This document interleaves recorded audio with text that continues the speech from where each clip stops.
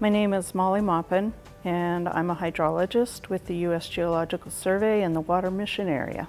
And I am the National Water Use Science Team Lead. And over the years, we've used satellite imagery to help us to get a cross-the-landscape picture of water use. And what the satellite data can help us with is showing how much water is evapotranspired from the landscape.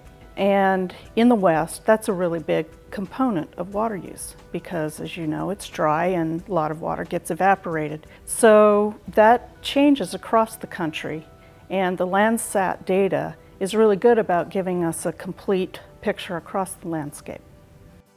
My name is uh, Gabriel Senay. I uh, work for USGS EROS. Um, my title is a research physical scientist. The main goal in the water census is how the water is used. So it's usually at the county scale.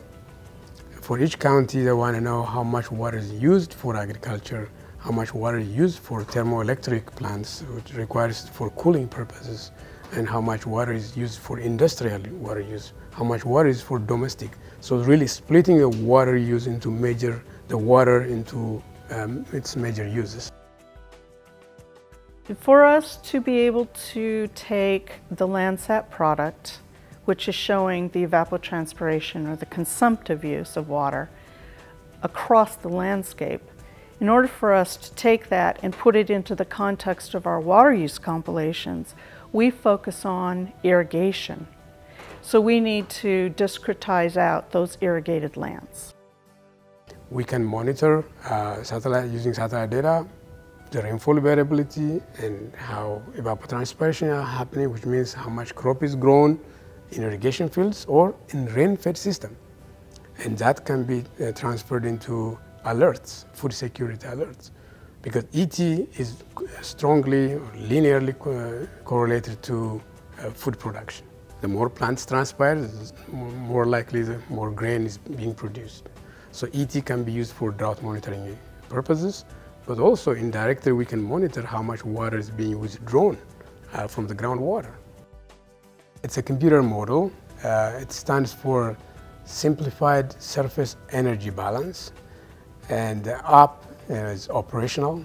So it start, started out as a simplified surface energy balance model and we operationalized it, uh, which means we simplified the modeling, uh, parameters, procedures, so we can apply it uh, globally. Gabriel is, is a leader in his field. Um, there's, there's a large body of literature that is showing his algorithms and others because his is it's easy to understand it is giving us the type of information we need at a resolution and over a time series that's helping us a lot so i think that you know, his work has been extremely valuable.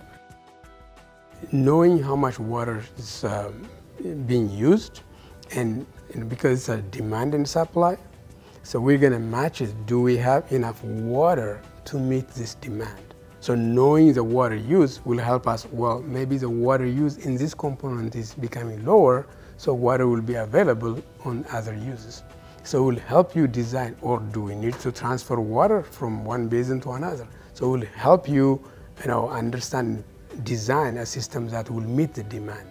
So that's main advantage is just knowing the trends as well. So when you do it over the years, you know, a given water use going up or going down because of uh, population movements and cities growing, maybe water is moving from agriculture to domestic water use.